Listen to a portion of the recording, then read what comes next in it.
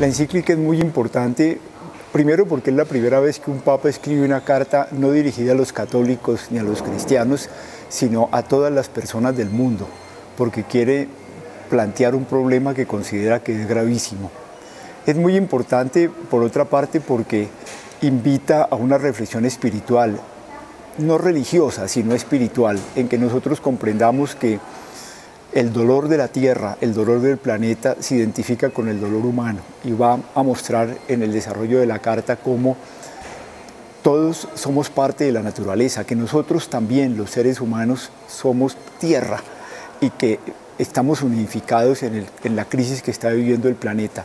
Es muy importante porque el Papa se enfrenta al sistema mismo o a la forma como se desarrolla el capitalismo hoy en día en el planeta y se enfrenta a las grandes empresas mineroenergéticas, a las grandes empresas que están destruyendo la Amazonía y los bosques del mundo y los humedales del mundo.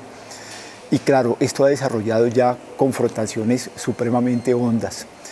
Es muy importante porque el Papa se acredita mucho para poder hablar con grupos científicos internacionales. Quizás lo más significativo, la Royal Academy del Reino Unido, de, Londres, y también los 800 científicos que participaron en el, eh, conjunto de naciones para eh, demostrar la enorme responsabilidad humana en el calentamiento global.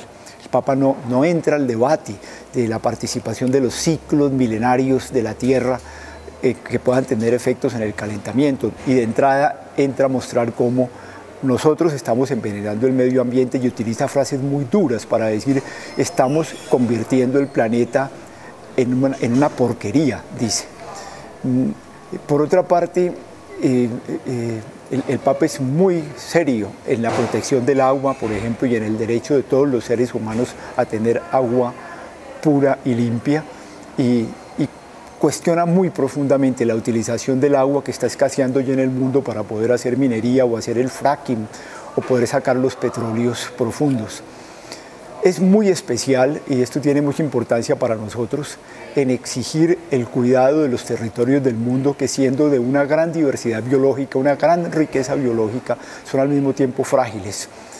Y con esto nos está mandando un mensaje clarísimo a los colombianos. Este es uno de los lugares de mayor diversidad biológica bien conocida y que nosotros tenemos la responsabilidad de cuidar. Por eso, por ejemplo, hacer minería aquí en Colombia no es lo mismo que hacer minería en los planteamientos del Papa para los desiertos de Arabia, para el Sahara, para los desiertos de Chile o para la sierra árida del Perú.